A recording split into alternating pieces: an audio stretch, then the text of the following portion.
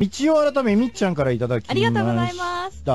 えー、ふと思ったんですが、なぜこの番組はラジオ、あいうえおのおではなくって、ラジオってあの接続詞のね、きの。おなんでしょうかっていうふうにうん。答えてくださいだって。答えてください。私ですか、はいこのラジオから何かを発信するとか、うんラジオから何かを作ろうってことで、うんと、あいうえおのおじゃなくて、くっつきのおだよっていうことを番組始まった時に鈴井さんに教えていただきました。あ、そうなんですか。え？なるほどね。違うの？いや、そ、そうだと思いますけど。まあ、だから、あの、言うと、やっぱりこう、おこのおっていうのはやっぱり接続詞ですから。はい。皆さんとつなぐっていう意味合いでの接続詞のラジオっていうああ、なるほどですね。ことでうん。やらせていただいているんですけども、そうよなんです。ろしいでしょうかね。はい。で、皆さんにとってラジオっていうのはどういうものですか？ラジオって何ですか？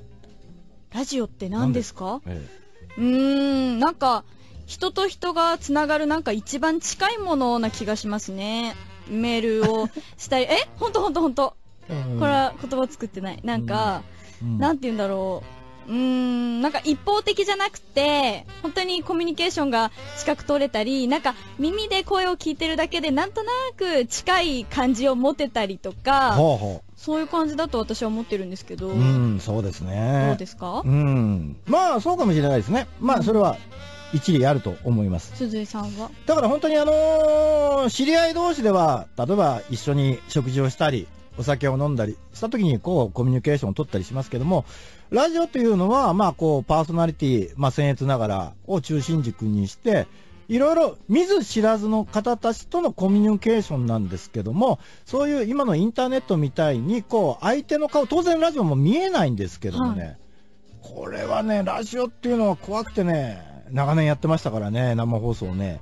一番ね、見透かされるんですよね。元気がないとか、やる気がないとか、今日なんかすごく機嫌が良さそうとかね。これね、テレビっていうのはね、やっぱり画面があるから、画面で、なんとかね、ごまかせれるんですよ。はい。で、情報が多いでしょ。情報が多いから、逆にね、そこまで気がつかない。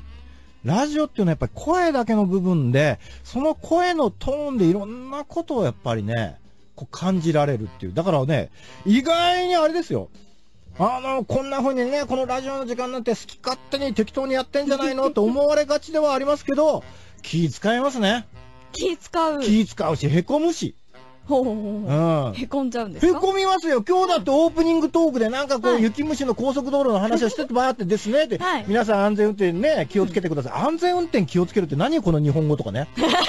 ちょっとやっぱり自分の言葉におおかしい語彙使ったなーとか、うんなんかまとまりなかったなーって言って、曲の間へこんでるんですから、僕は。あー、まあまあまあ、そういう時もあり案ますね。外そういうもんですよ。だからそそういうところでは結構、ね、神経、神経だわ。そうですね。はいでも楽しいですよ。そうですか私はとっても。いや、僕、時々楽しくないです。時々ね。